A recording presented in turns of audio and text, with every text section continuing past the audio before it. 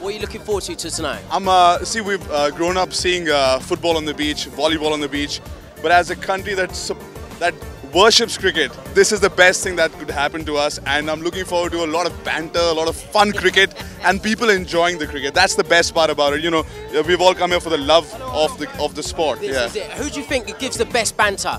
Uh, I think I think I think in Indian team and Pakistan together because they're such good friends, but on the on the pitch they just have the best uh, competitive spirit. So I'm looking at Afridi and Bhaji and some banter between Irfan and P it'll be amazing. It'll be fun. Oh, amazing. Thanks, man. Thanks. Take care, buddy. Yeah, you have a good evening.